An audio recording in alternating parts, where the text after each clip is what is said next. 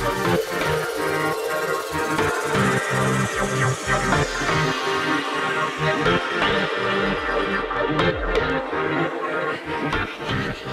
so we're all live on Facebook. Uh, welcome everybody. Sorry for the technical delay. I'd like to introduce Dr. David Lowinger, uh, who's an ear, nose and throat specialist. Uh, works a lot with dentists. One of the first ear, nose and throat doctors actually to come and start educating dentists on uh, the relationship of mouth breathing and facial growth uh, and poor sleep, etc., etc. Um, David is an associate professor at New South Wales University. He's involved in the teaching of the uh, upcoming ear, nose and throat doctors.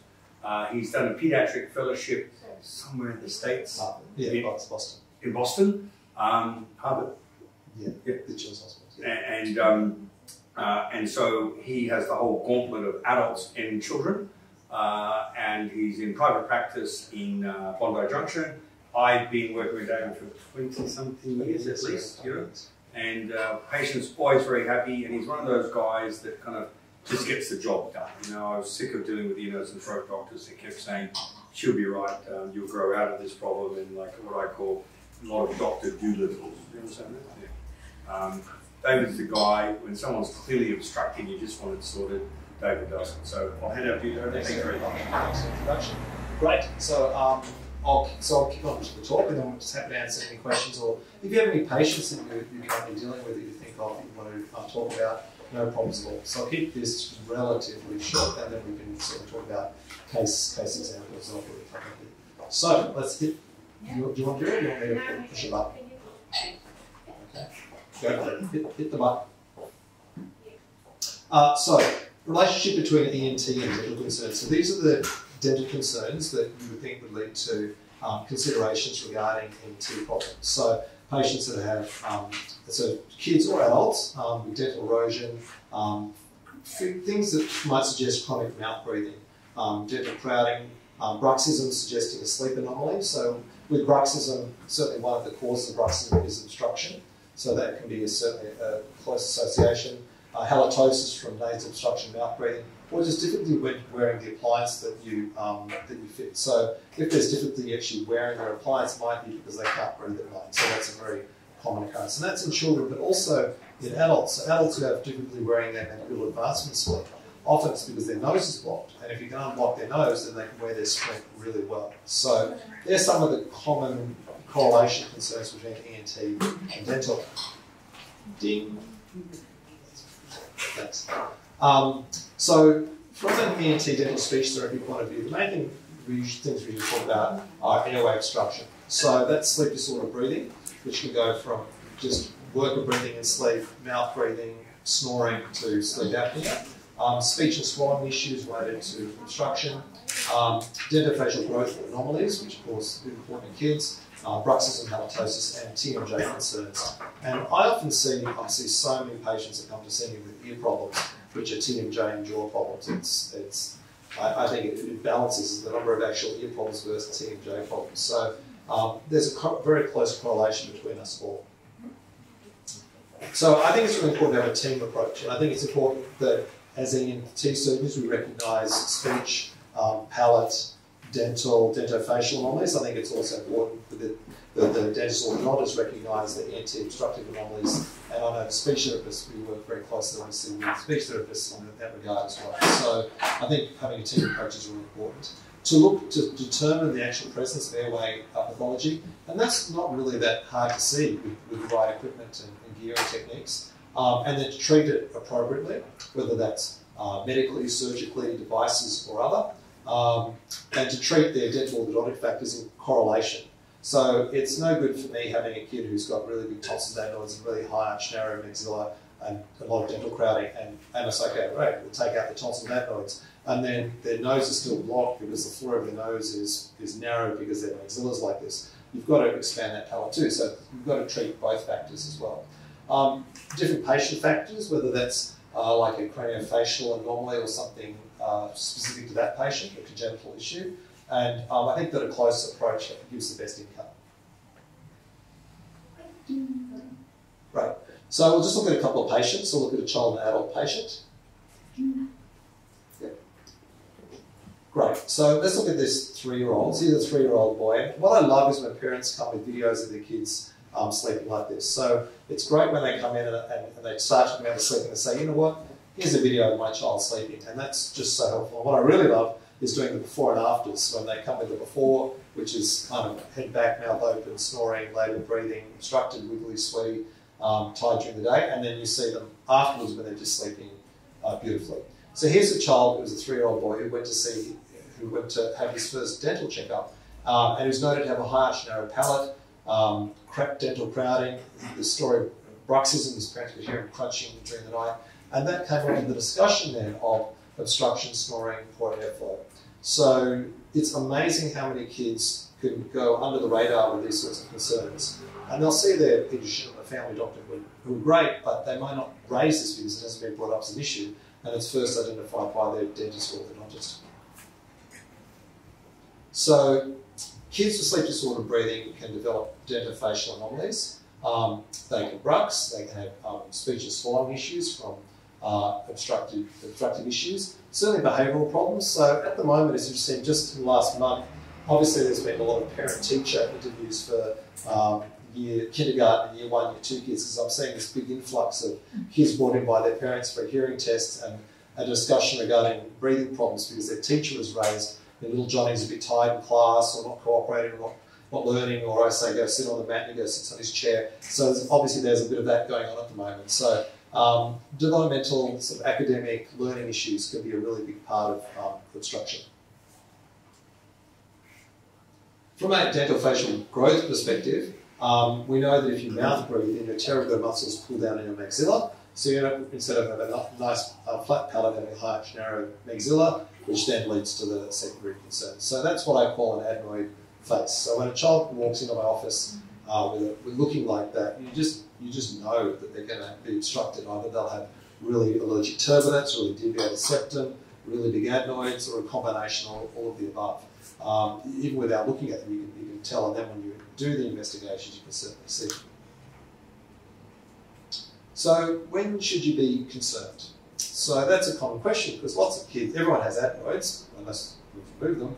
Um, everyone's got a septum and turbinates. Everyone breathes in different ways, and some breathe a little noisily and some don't, and some snore and some don't. But when would I be concerned? So certainly I'd be concerned if you identified a dentofacial change like a harsh narrow maxilla, um, dryness, gingival hypertrophy, all the things that go on with mouth breathing. If a child tends to have eating and breathing difficulties, so is a slow, picky eater, or has difficulty with like big solid food, so actually obstructive eating issues. Um, certainly chronic snoring. So when my kids run well, when they had a kindy-related cold or something like that when they were little, um, they would snore. But then, as long as that got better and went away when they were better. But if it's somebody who snores or obstructs when well, that's the concern because that suggests a fixed obstruction, not just from swelling. Um, certainly any pause and gasping choking episodes is a concern in children. Now, uh, proviso of that is that kids don't necessarily snore like adults, so they don't have to have really big, heavy snoring obstruction. They can just have quite uh, like, like a like a high pitched sort of breathing in kids because they don't have the big palate to vibrate like adults do. So when I say snoring, I mean noisy breathing at night, not just snoring that we're all used to from our partners when they've had a few too many drinks lying on the back.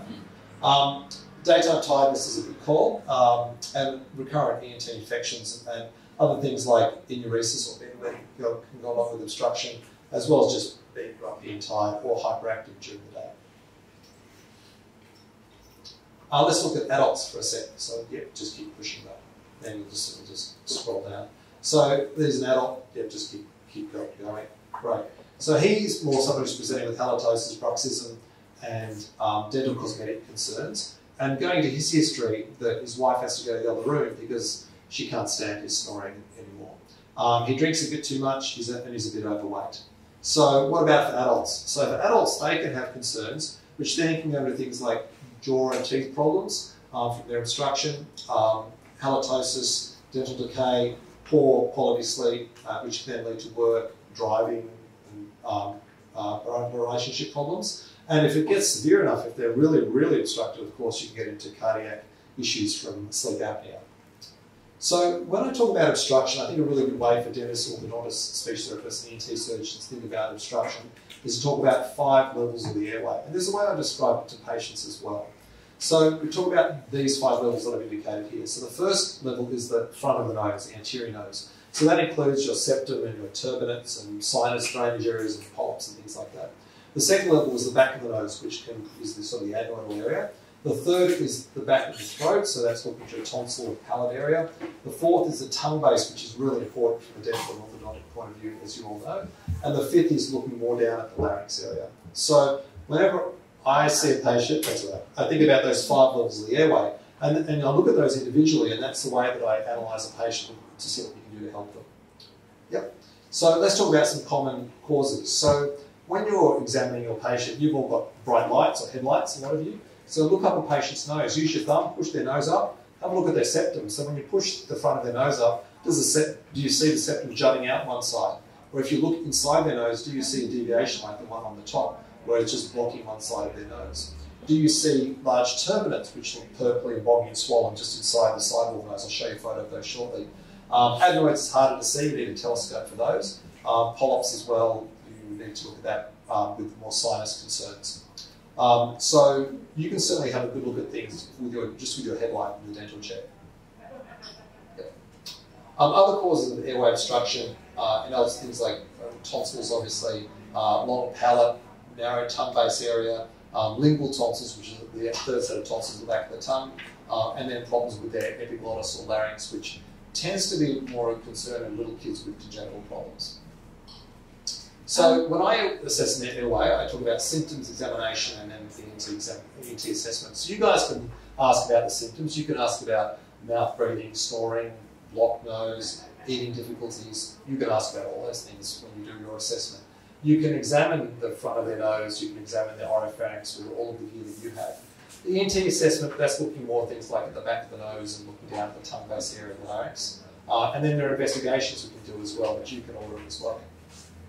So I have an outside in approach. I start at the outside and work my way deeper in, and I compare the two sides. And I said, you can use your thumb, you can use an otoscope to look in, you can use a metal device underneath the nose, like a metal tongue depressor, look at airflow. Um, all simple stuff that you have in your dental chair or dental room. Um, you can listen to their voice and listen to their airflow. Do they sound when they breathe through their nose? Is it smooth or do they sound obstructed? Right? Um, listen to the quality of the voice. Do they, does the does a six-year-old sound like this because his nose is really blocked up? Um, you can feel over their nose and sinuses for de- deformities. So they're all simple things that you can do while the patient's sitting in your dental chair. What are some of the other signs we look at? So things like an allergic crease on the nose. So next time you're examining your six or seven-year-old, have a look at their nose. Do they have a white line or a dot of pimples or a line across their nose? That's an allergic crease. You look at that, you see the dark allergic shiners under their eyes, and immediately you don't need, you don't need to be an immunologist to know that they've got allergic problems. Um, so put that together with blocked, swollen, pale boggy turbinate, which you can see just by looking inside the nose, and there's a very allergic child, allergic adult. Uh, with the tonsils, so normally grade tonsils out of four. So one is small, two is coming to the tonsillar pillar, three is coming just outside the tonsillar pillar, and then four are more like these, which are almost touching the middle. So that's a grading system that we tend to use for tonsils, and it, it's simple to do. So so one, two, three, four. And so that's really helpful in, in describing uh, tonsils and obstruction. Uh, with adenoids, this is a telescopic uh, photograph of adenoids, not a great one, but that's adenoids there blocking the back of the nose. So usually describe that in terms of percentage. So if I'm relating to um, a dentist or orthodontist who's referring a patient, I'll talk about a grade of tonsils and I'll talk about percentage obstruction on the back of the nose. So that one's blocking about, I'd say, about 75% of the back of the nasal passage. So this should all be open, and that's, that's the 25% they're reading through. Oh, thanks. Um, um, so when I assess, I use an otoscope, I use, a te- use telescopes to have a look at the airway. Yep, and there are telescopes, there's no child that's too young to scope. So um, I see uh, today, so a four week old who get an nasendoscopy. So there are telescopes you put into a four week old's nose. So certainly no one's too too young to have a proper airway assessment. Um, so uh, so that you should never be worried about looking at a child's airway or an adult and talking about their assessment. Um, I just want to talk about um, imaging now. So CBCT. So whether you use dental, who, who has a CBCT in their rooms? Home MCT.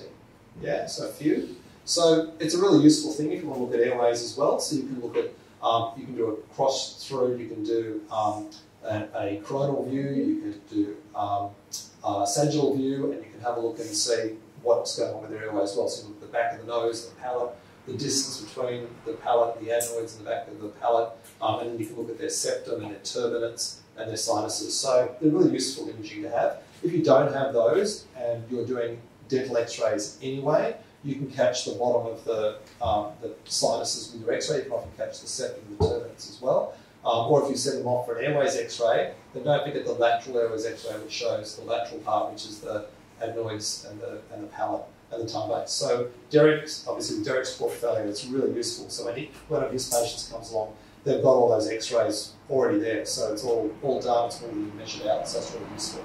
So there's some CBCT uh, views here. So here you can look at the coronal section, you see the septum, the turbinates, the sinuses. And here in the um, coronal view, you can see the tongue base, how narrow this patient is at the tongue base here. And this is their axial view again, you can see the tongue base. So imaging can be really useful when it comes to airway concerns.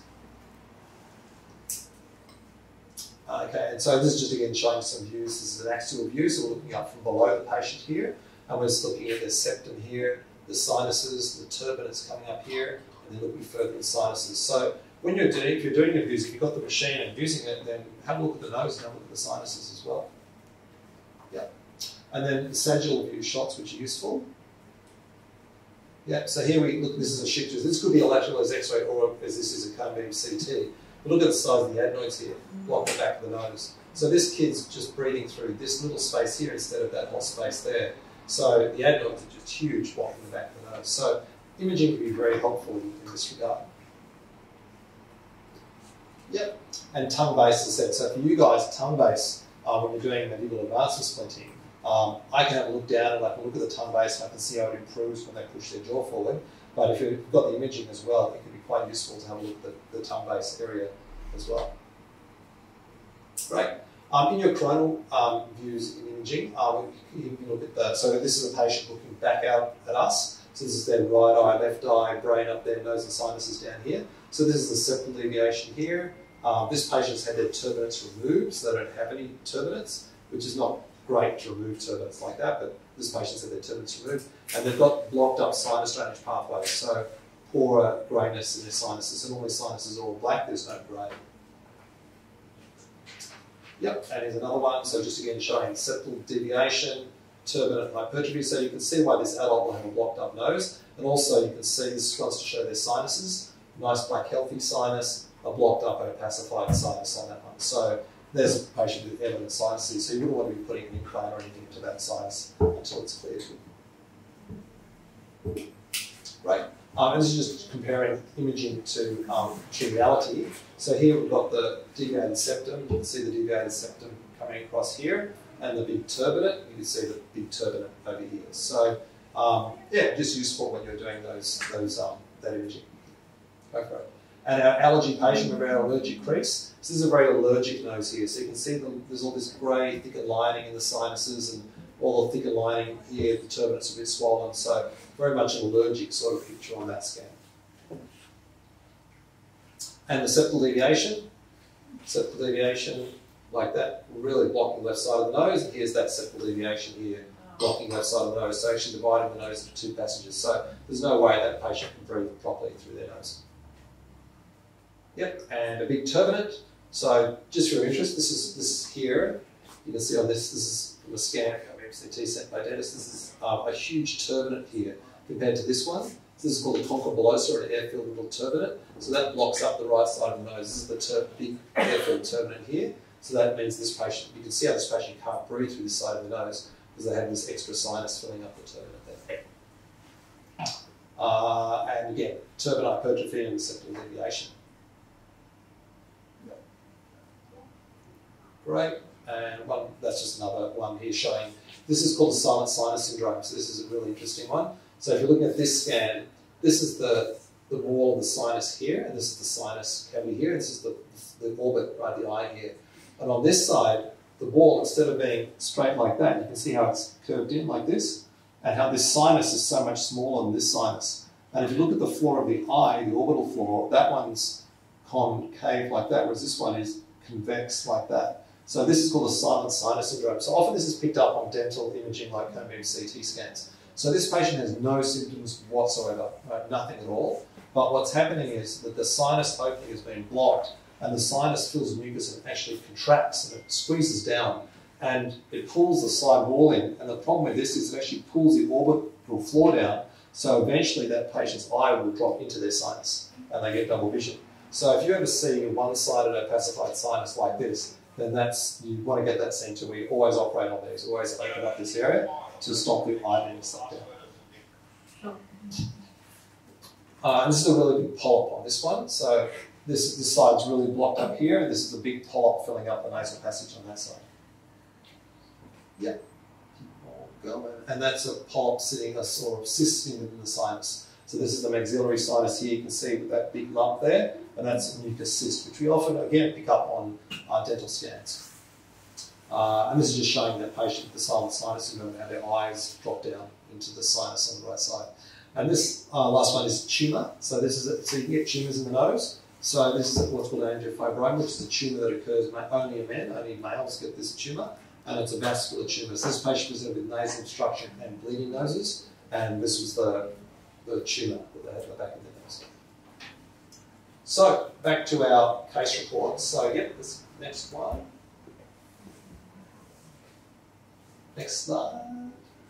Yep, thank you. So um, when you assess these patients, um, you're looking at a history of examination, you're looking at their airway symptoms, you do some imaging, um, you get their orthodontic and dental opinion. You may need a speech opinion as well, depending on their concern.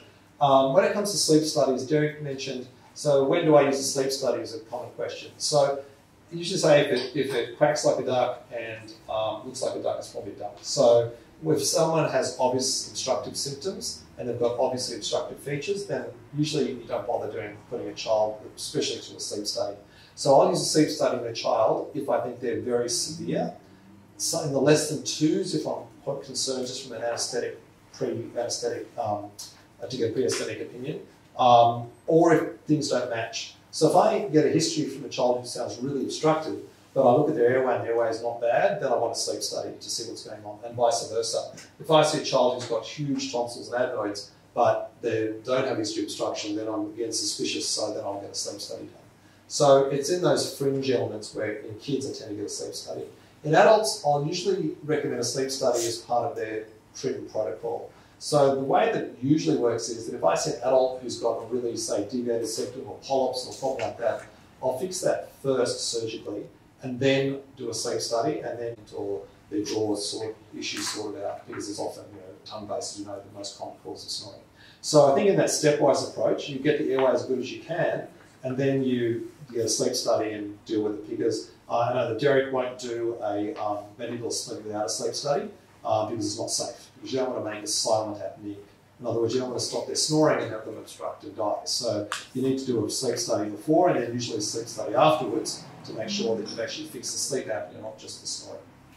So first thing I do is treat nasal obstruction. Yeah, that's all good. So treat the allergy, treat, treat the polyps, treat the septum. Secondly, treat the postnasal space, so get that nice and clear. Yeah. Then I'll treat the oropharyngeal area. So basically stepping down those five those five levels. So the big tonsils, you know, whatever's obstructing their airway. And then four, look at the tongue base. And you then also mentioned high, long palate. yes, Is that an anatomical anomaly or? Yeah, for some people, they have the Mallampati classification, so the degree that the palate hangs down.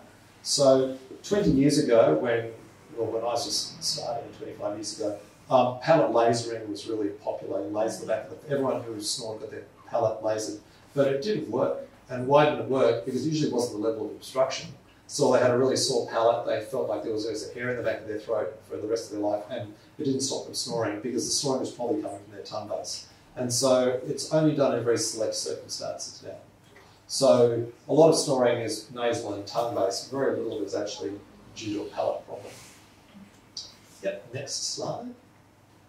Great, and then treat larynx and bolus. So little babies, just so you're not going to be seeing these so much, but little babies who have snoring sleep apnea, ringo which is here, so that's when the epiglottis is all folded in and the airway is really tight. So I, I treat a lot of these because I'm at Sydney Children's Hospital, we treat a lot of these kids. Um, some people sometimes can have a laryngeal tumour.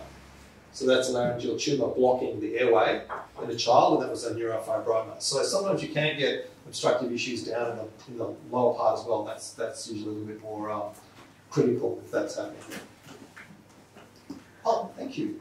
So what's news as far as um, the most common thing we do to treat the sleep apnea in kids or snoring is tonsils and or adenoids. Um, so age-wise, so now we, this procedure you do quite young now with more modern surgical techniques. So the youngest adenoids that I have done is three months old. Um, but certainly plenty of five-month-old, nine-month-old, ten-month-old, one-year-olds. It's very common. Um, tonsils, the youngest I've is six months old for obstruction. So you would never do that for infection, but for obstruction. And that's because you can modify your technique and make it bloodless and, and monitor them carefully. So usually the technique now it's less less uh, bleeding. Uh, we monitor them more carefully afterwards. We observe them closely. We avoid certain analgesics now, and sometimes we need pre-op CPAP if they're really obstructed. So we've got all those facilities now where we can do the younger younger kids and more critical kids.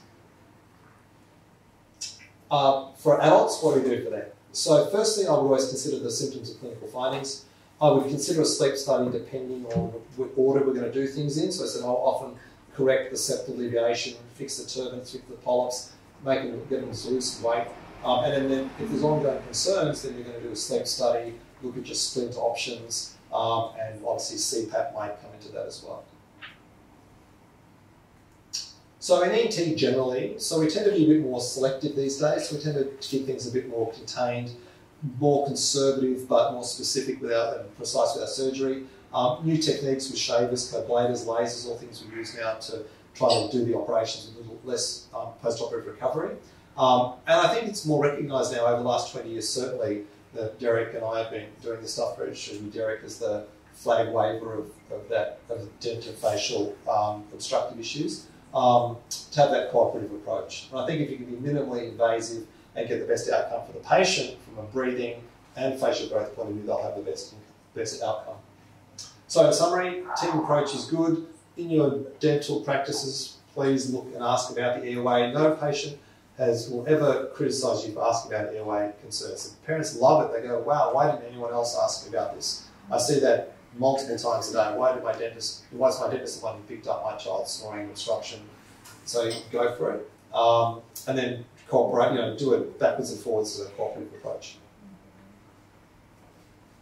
Right, and that is my talk. So, um, uh, questions? Any cases anyone wants to discuss? Anyone got an interesting kid or adult? Yes? Uh, so with allergic rhinitis or turbinate, Yes, turbinates. how, uh, if you do remove them, what's the schedule of them coming back? Okay, so you never want to remove turbinates. So turbinates, so adenoids you can remove, tonsils you can remove, turbinates you don't remove. So if you, the French used to love removing turbinates, and all you get is a really dry nose and lifelong nasal crustiness and obstruction. But you can reduce turbinates. So in kids and adults, we do different types of turbinate reductions. So in a child, I'll do a child turbinate reduction, which is called a coblator reduction. So coblator is an instrument looks like a looks like a pencil lead, I suppose, like the middle of a pencil, and it's got a current that goes through it with bipolar electricity at the end. So it goes. So when you do this procedure, it's done as a day surgery. You put it inside the turbinate, and it basically cooks the inside tissue of the turbinate. So turbinate has bone, what's called erectile tissue, and then the lining of the turbinate. And it's that swollen erectile tissue that causes the problem. So the coblator goes in and it shrivels down by basically microwaving or burning the erectile tissue inside the turbinate, the turbinate shrivels down. So it does, you don't remove the bone, you don't take out the lining. It's done as a day surgery. It's very little, but morbidity and very little pain or anything like that. And that just gives them more room. But if you do that alone, the, and they have, they're really allergic, the lining will just start swelling again and the problem will come back. So we'll talk about that. With adults, when you do a turbinate reduction, it's done differently. So with an adult, you actually lift up the lining, you take out the bone and take physically shave out some of the erectile tissue, and then you put the lining back so it physically makes it smaller. So it's a much more aggressive, it's not aggressive, but it's a more involved surgery. Still not very painful, still a day surgery thing usually, unless it's done with septum and other things. Um, but it's more physical reduction. So if you don't manage the allergy side, the nasal lining will become swollen. So I always talk to patients about a two-pronged approach, which is one, breathe better by relieving the obstruction. Two, manage the allergy side. So usually if I do a turbinate reduction procedure, I will at the same time while they're asleep do an allergy test. And then afterwards we go, right, how's your breathing? Fantastic. Right, now let's see what you're allergic to. Uh, dust mite, grass pollen, milk, whatever. Let's talk about managing the allergies. So that might be allergen avoidance, or it might be medical treatment, or I might involve a colleague immunologist like I would involve a colleague immunologist. So managing the allergy side is really important. So does that answer your question? Because my son's got issue. Okay. Um, and we haven't we haven't done prevention. Mhm. He's not that keen to on Because the you're concerned that it'll just come back. Yeah. Right, yeah. Um, How old is he? Eleven. 11, yeah. So at 11, you're sort of a little bit halfway between adult and kid ones. So it depends how big an 11 year old he is. So sometimes 11 year olds will do sort of like a halfway procedure where you'll take some of the, a little bit of the bone out but not do too much. You just do a more conservative procedure, a bit more of the, um, the tissue. Um, so do it more than you do in, say, a five or six year old, but not what you would do for an adult. But if, if I was going to do that procedure to an 11 year old, I would, if he hasn't had an allergy test, I would definitely do one while he's asleep and um, then you talk about allergy management afterwards. That gives you the best outcome. He's got he's got allergy to um, dust and Sure, the two common ones. So then it looks at avoidance measures, medical measures, or uh, immunotherapy measures for that. So you've got to still treat the allergy. So you never say to a patient, do a septoplasty or tumor reduction and cure an allergy. You've got to manage the allergy side as well.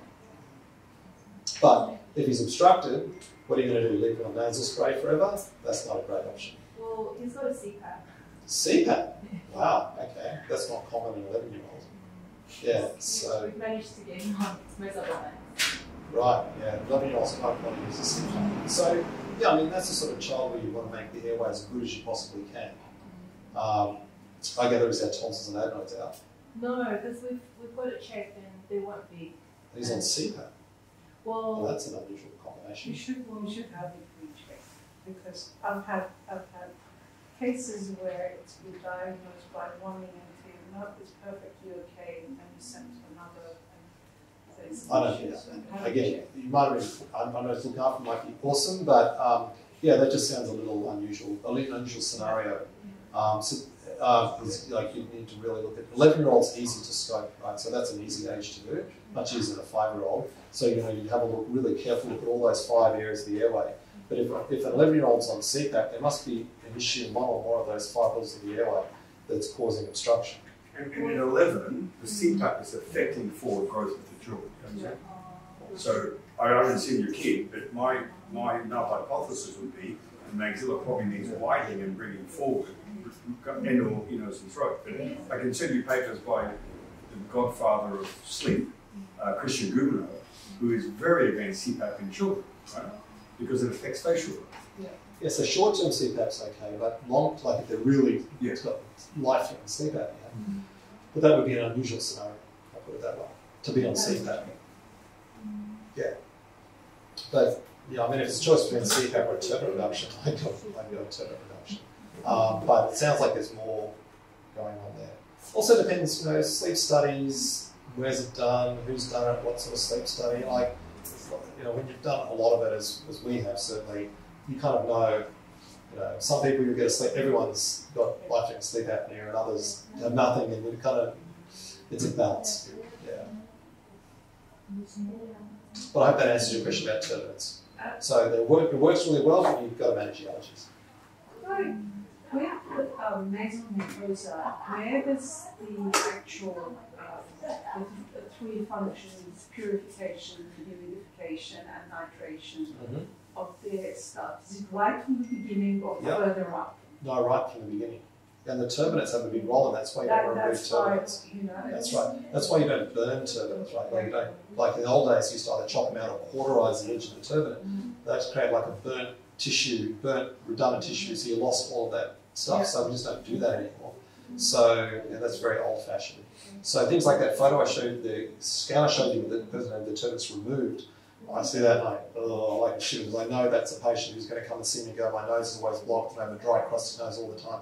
There's nothing you can do about it. It's too late. So you have to be quite conservative with turbinates, uh, particularly septums. You can straighten those all over the place, but turbinates, you have to be gentle. He always says, sorry, sorry. He always says it's itchy on rubbing the nose, but I don't know what part of it. He's probably, he probably has that line that you were mentioning. Yeah. But is that a common thing that, Yeah, sure, that's part of his dust mite and grass pollen allergy. Has he seen an immunologist to manage the allergy part? Has he had any expansion? Sounds like he needs had it. any that was palate the expansion? dental issue, he has no crowding, bustling, Yeah. teeth are straight, the tongue is fine. Um, we only just put him on the CPAP, I said, the last half a year, just because we haven't, we're not ready to do the reduction yet, but I was concerned about the sleep apnea side of things. Yeah. How bad is the sleep apnea, if you don't mind Uh, asking? What's his numbers? I think about five. Five an hour? And his sats? What's Now, his- What's what's his his oxygen saturation? saturations? They're not too low, What, above 93, 94? probably around Yes, That doesn't it's sound, called- that doesn't sound so bad. There. I Yeah. don't. Yeah, I, again, it's hard to give an opinion from a distance, but it would just be. You didn't go, you did a sleep study with Resmed, did you? I deal with gyms. No, Jim's good, right? Yeah, well, Jim's a good guy.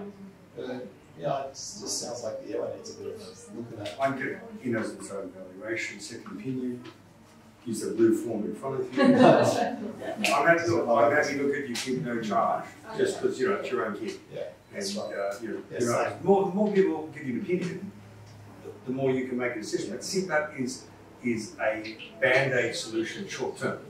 It's not something a kid needs. You know, you know what I mean? Oh, we, we spent a lot of time with kids also today. so- Or okay, here's a question for people. How many of you know the correct function of the uvula? Why do we have a uvula? Come on, you're all dentists, you see a uvula every day. Come on, there's a prize here. You get a bottle of Jacob's Creek. Um, Oh, James, great Wine. wine. Only stay. come on, It's- it's- it's roll the swallowing uvula. function. Do I agree? Huh? It's doing swallowing function, you know, you just got. Point five. Come on. Now, come on, how many of you see a uvula every day? All of us. Right. What happens if it's a bifid uvula? Would you be worried? Or would you think? What happens if the uvula is really edematous and battered and red? Well, this is, this is questions and answers, I feel like on Q and A. Yeah. Yes or no? Come on, speech pathologists, you see, you see uvulas all the time. Yeah. Right, So, one, I want to know what's the, why do we have a uvula? Right? Number two, what sort of pathology would you see in a uvula that would alert you to blah, blah, blah? Does it let you know the size of the bolus of the So- food swallowing? Well, bifid uvulas are a concern because of the way the palate is developed in embryology. So the palate grows from two sides, joins together and molds. So if you've got a bifid uvula, or the palate's weak. And so then, from my the nose, and throat point of view, I'm, I'm getting concerned about hypernasal speech. So it's telling my pinch when you talk, when you get hands snapped through your nose, which speech is I obviously identify. Um, or when they drink, it might come out their nose if it's bad enough. So it might be what's called a submucous cleft palate, which is not a cleft palate, but it's a poor knitting of the muscles. Which from my point of view, if I have a kid who's got that and really the adenoids, I'm going to do a selective adenoidectomy where I don't take all the adenoids out because that's going to make Newt even worse. Um, so then you just remove some of the obstructive adenoids but leave the stuff down below. But um, the big thing, palate, you, if you take someone's uvula off, for say they've got papilloma on the uvula or, or something, you've got to remove it. The thing they always complain about is the feeling of mucus in the back of their throat. Yeah. So the, the uvula sort of wipes mucus off the back wall of your throat and helps stop that stop that It's feeling. like, it's like the windscreen Yeah. wiper on your car. Yeah. My poor old dad, before I knew anything about sleep medicine, went off and had a U triple P. And then they removed the uvula, right? Yeah. It's like napalm in the morning. Uh, and the poor guy, every time he gets a head cold, he gets that post nasal drip. Yeah. Uh, and there's just nothing you can do about it. Yeah. Okay, what about a red edematous uh, uvula that's not bifid? What's that a sign of? Inflammation, Like specifically? What do you nasal inflammation. you know, So, I, well, I tend to see a lot of people who snore a lot. They Exactly. get, they get, their you uvula won't snore. gets, gets traumatized, so they get sucked down. So you see the uvula gets sucked down by their tongue base being narrow and it sucks the uvula down. If you go to um, YouTube, punch up bifid uvula, there's a great video by me um, that answers all those questions and shows cases. Please do that because you're dentist, you know. All right, here's another thing. What happens if you look at tonsils? I hope you all do. Yes, no, you know the grading. What happens if you see a unilaterally enlarged tonsil? In other words, this side is all good, but this side is so big it's almost to the midline of the uvula, in the, under the uvula. Big unilateral enlarged tonsil. No, diagnosis. It's like a little viper. Right now, all of you will be coming back for your post exam with the jacaranda tree flowers, Yeah, that's fine. which like someone, someone that, that died. You know, Yeah, the jacaranda tree in Sydney Union, Yeah, the that's great fine. quadrangle. Yeah, Yeah, it's dead. Oh, that lovely that's what one. most Yeah. institutions are seeing. I reckon some student poisoned that. Yeah. Anyway, unilateral enlarged tonsil. Um, lymphoma? Yeah, it's good, but what's the differential diagnosis? The film is the yeah. That's good, yeah. Yeah. Don't, Yeah, lymph- uh, yeah, lymphomas. So sometimes you can just have a unilateral large tonsil, it can be worse, but always become chronically infected and just one is bigger. But you always have to be worried about lymphoma or a CC or another tumour of the tonsils. So that's tumour is your number one concern. Yeah, especially if it looks purpley and unusual and the lighting's unusual. Or your patient's a smoker, Yeah. you know, all this sort of thing. But Yeah, or just, just start looking at tonsils. So, now, who can tell me the difference between looking at the size of the tonsil, right, and a Mallampati score? Everyone heard of Mallampati? Mallampati was a famous, uh, what do you call it, anaesthetist, anaesthetist um, who realised that when he put people to sleep, he could almost tell who had sleep apnea by the opening of their oropharynx. In other words, you know, combination of the base of their tongue, their tonsils, their soft palate, their uvula. You've heard of Mallampati index? So, Mal- no? Google it. So it, when, when someone's if you've ever had an anaesthetic, if any of you have an anaesthetic, every time you have an anaesthetic, the anaesthetist record which your Mallampati grade. So if you have ever had one, you get those notes, you'll have a look on the anaesthetic chart. It's always recorded. It's every case we do, it's part of the documentation of surgery, which is how narrow your oropharynx is in Mallampati. I'll, I'll pass around the Mallampati index. This is a good little diagram I show patients. So- So the question is, when you look at tonsils, right, look at them properly, you need to push the tongue down. In other words, you guys have the little uh, mouth mirror. What's it called number six? No, what do you call the little dental mouth mirror? Yeah, if you push that down, then you can do a Friedman classification for the tonsils, right? And grade four and three tonsils need further investigation. Now, Mallampati, because I'm passing around here, you literally just get the patient say, ah, like that. Don't push anything down, just say, ah, and look at the back of the throat. I do that all the I think the name. Ah, now you do. Right? So, so Mallampati index is good as a sign of picking up possible sleep apnea. Yeah. Right? And so, what I'm saying is, as dentists and speech pathologists, we're looking at the mouth more than any other medical GP. Would you agree? Yeah. But the thing is, we're just trained to look at the bloody teeth and the gums. You go.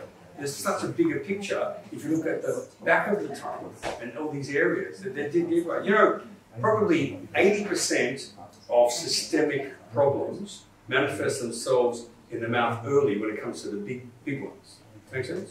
And also look forward as well, like at lips and like lips and gums and things from a drying, cracking point of view as well from mouth breathing. So not so- going from the front all the way to the back. It's really important. Can I ask a question? How long after um, tonsil and adenoidectomy would you expect the voice to change Yeah. naturally? Great question. So um, some kids are really obstructed when you take their tonsils and adenoids out, depending on technique you use. Um, but if you say if you do a really big clearance, then their voice changes. They get a bit hypernasal, which is the thing I just got when they more like they're breathing through their nose a bit. Um, so it depends on the size of the tonsil. Also, tends so boys more than girls tend to have the effect, and the bigger your tonsils, the more the effect. Normally, it will just be within about three months overall. So if it goes past, I always, if I see that a patient, always sort of say, well, look, if it's still there three months, then you know, let's talk more about it. Um, but usually, when you do a tonsillectomy and have you just assess the palate carefully and adjust for that. But you, you can get some which are just more hypernasal than. So So I have a client at the moment who's just had it, and he, I think he's six months post, and he's still quite hypernasal, always with a runny nose. How old? He's four. Four, yeah, so runny nose. So it depends on again the technique used. So there's a shift in technique moment between curette adenoidectomy and diathermy adenoidectomy. So the different. I, I sort of juggle between the two depending on the patient and the adenoids, but some people only do one, some people only do the other. But curette, you get a big clearance, but you have more risk of getting hypernasal.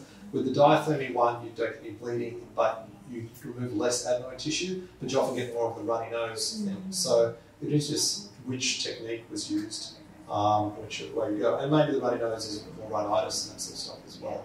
But um, yeah, you can see voice change up to that, that sort of three month period, especially in boys with huge tonsils. I mean, does change after months.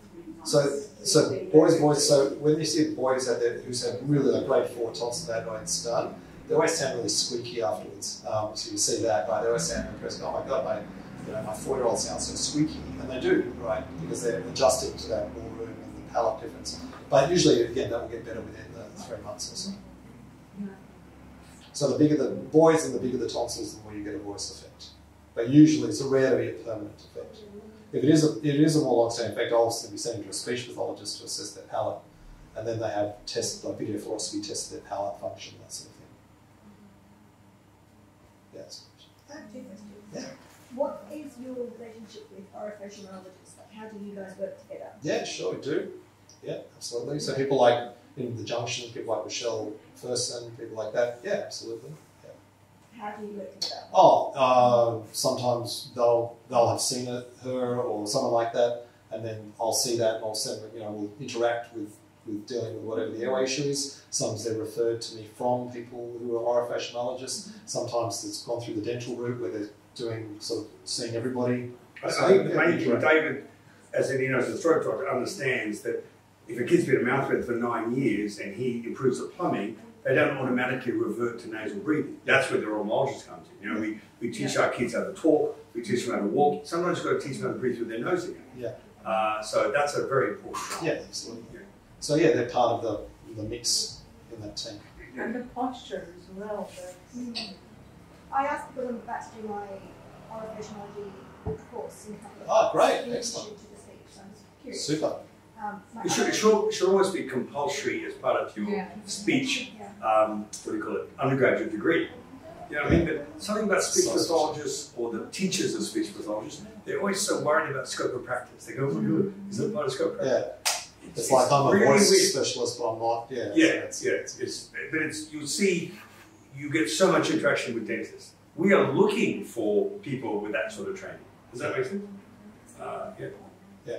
My other question is more personal. I've got a daughter who's six. She's had a tonsillectomy, atmos tonsillectomy a few months ago.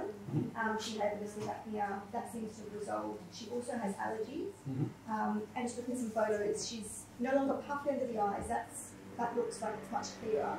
But she has always sucked her tongue as a, a calming sort of mechanism. That kind of she's not even aware of it. I asked her about it and she said, I'm not aware that I'm even doing that. Will that have an impact? I imagine it will have an impact on her palate. Never actually looked. Um, Yeah, in terms sure. extra pressure, Yeah, if you're sucking your tongue, you're not putting in the right position, that's for sure. How old is your daughter? six. Six, yeah. So that's the time you really want to get the tongue up on the palate. So one of the first things you learn in, you, who are you doing course with, Rochelle? The, the oromology training? Um, Louisa and Hannah. Yeah, Rochelle. Um, but that's one of the first things they'll teach you. Oromology is all about lips together, breathe through your nose and tongue on the palate.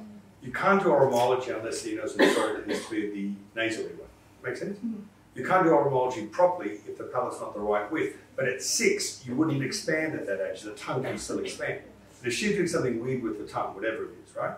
Um, the tongue's not doing its normal role. So you've got to break that habit and teach her how to put the tongue on the palate. You have these things called um, myo spots. I don't know if you've seen those. You put them on the palatine ruben. Uh, it's called the spot, and that's where the tongue should be sitting during the day. But at night, she might go back to the old habit. So we use things like myo munchies and myo braces. You know what that is? Yeah, her mouth is always closed at night. She Yeah. sleeps with a closed posture, and even during the day, she has a closed.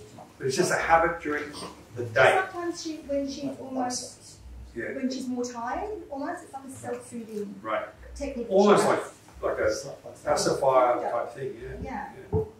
I think you've just got to work to break that habit, but do it like now because Yeah, so I saw a, I saw a two-year-old today who was obviously obstructed. And interesting, I mean, she's always been a mouth breather since she's born, and she had this palate that was like that. You know, two-year-old had huge tonsils and adenoids and blue ear and the whole package.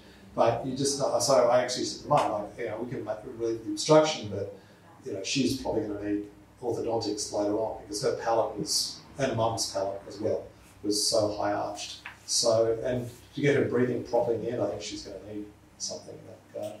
So, yeah, it's important early on to take care of it.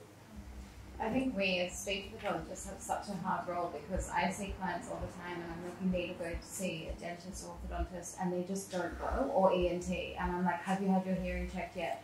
You're wasting your time. But they just feel like we're going to fix them. And I'm constantly like, I can't help you unless you. Yeah, it's, I mean, I, I see a lot of patients from speech pathologists. I mean, I, I uh, who have exactly that, right? So, you know, I think Yeah. your hearing's dodgy and they come and we check their hearing and that sort of thing. Um, so it's funny that people are resistant to that. Yeah. Like, yeah. It just makes it really hard. Like I've got a client who I've been seeing for a while, and her palate is just. I think she saw you actually, and so like, oh, we're just gonna wait, but I can't. Like Yeah. she's like, Ugh. Um, and her teeth are everywhere, and her palate is like. You know, the sad thing is quite a few dentists do say to wait until Yeah. the fourth. Yeah, it's a bit late. I know, and then That's- it's so that's the thing, late. You know, you do get that quite often. So Yeah. it's not just their fault, it's the advice they get from the Yeah. other professionals that, that gets them to that position. It, it's, it's amazing how still we have that with our profession. Well, it's only 20 years of I education. know. Any other Yes, yes, question. So, uh, earlier you mentioned that um, you would do sleep study before uh, giving space to patients. Is that the case for every patient, like most patients? The mass, the mandibular mass split, or Yeah, yeah. grinding Yeah. mandibular mass split, I think you would. Yeah, so Yeah. What I said, before I do a mandibular advancement splint, I need to check the nasal airway is good because if they're obstructed here and I do this, it's not going to help that much, right? So David does two things for me. He nasal endoscopes to check this is okay, but he also gets the patient to bring their jaw forward while he's got his camera there. And I can be 100% guaranteed that the airway is open. Some people, it's amazing. You bring their jaw forward and the airway collapses, it gets worse. And most dentists don't understand that. They just think, oh, it's a cure-all. My patient still just give them one of these, right? So, so do you understand what I'm saying? So, so if you want to be 100% sure that this is going to have any positive effect on the airway, get an ear, nose, and throat doctor to measure the change in that, right? Because some people have a, a airway that narrow that they don't collapse. Other people have an and the data from that sleep study is uploaded for a sleep physician to report on. You get it? So you get a proper sleep report. Now that's only for adults. If you're a child, you can't do a home sleep study. The child has to be hospital based, and that's the problem. The public waiting list for a hospital based children's sleep study is quite long. More than six months. Yeah.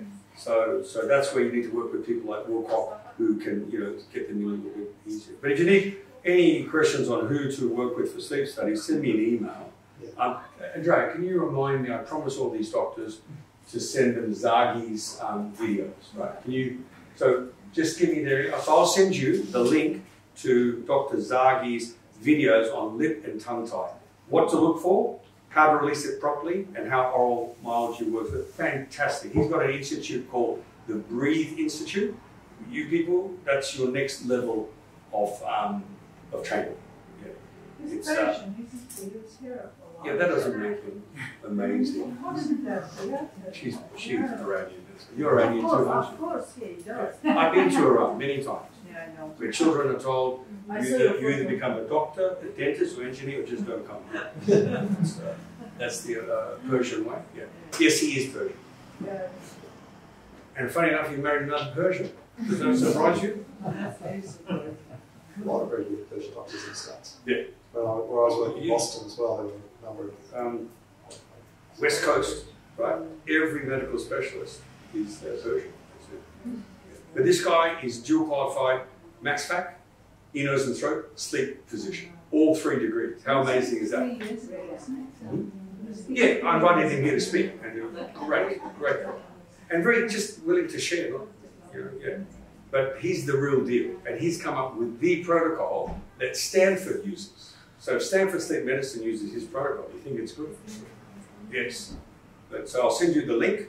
It's got all his protocol and his videos and how to do things, and you'll see. This, this is common sense. Last question, anyone? Yes, no, going once, going twice. Yes. Not about you, kid. Just- no. Yeah. Because we feel like we all know this. If the adult has a party class four, Yeah. Like wh- which class would you recommend? recommend? Three and three and four.